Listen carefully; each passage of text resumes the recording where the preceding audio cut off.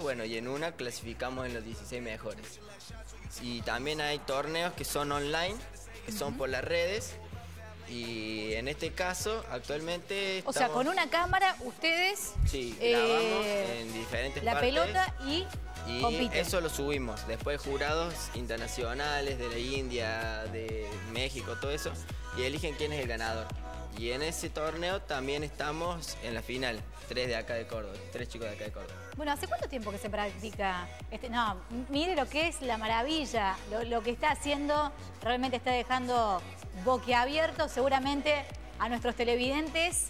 Eh, ¿Hay que ser muy habilidoso para, para, entrar en el freestyle fútbol? La verdad que se requiere mucha práctica. Práctica. Porque creo que todos empezamos sin saber nada. No, eh, puede ser que uno tenga una habilidad para aprender más rápido, pero lo normal es que uno nace sin saber nada, así que mm. con mucha práctica se puede lograr. ¿Hace cuánto tiempo que se practica en Córdoba esto? Y hay algunos que estamos hace cinco años, yo empecé hace cinco años, en el 2012, y después empezamos prácticamente con dos chicos, tres chicos, ahí que somos de la misma zona, del mismo barrio, y después se fueron sumando hace tres años, hace dos años más chicos al, grupo. Bueno, en tu caso, ahí está, tatuado el freestyle en el brazo izquierdo. Se nota que, es una pasión ya, mm, ya en tu vida. ¿Cuáles son tus referentes en esta disciplina? Para mí es Charlie Giacono, es un chico de Buenos Aires que salió campeón mundial el año pasado de acá de Argentina, el primer campeón mundial y es gracias a él empecé, así que es un muy buen referente para mí. Por ejemplo, la, comparación que pueden llegar a hacerle con eh, el, fútbol profesional, eh, ¿les agrada o, no? ¿Ustedes se diferencian y, prefieren mantenerse aparte de eso? Sí, la comparación está todo el tiempo por el tema de la pelota.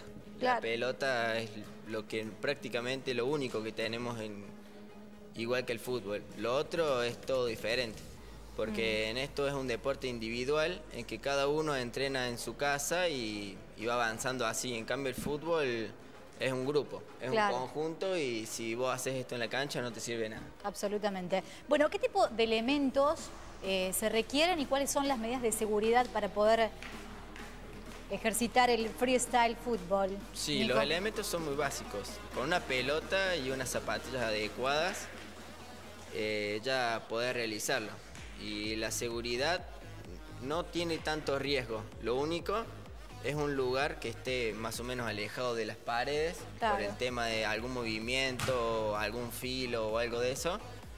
Pero lo otro es todo, es, es muy seguro. Bueno, lo vemos a los chicos, a Maxi, a Rodrigo. ¿Qué edades tienen?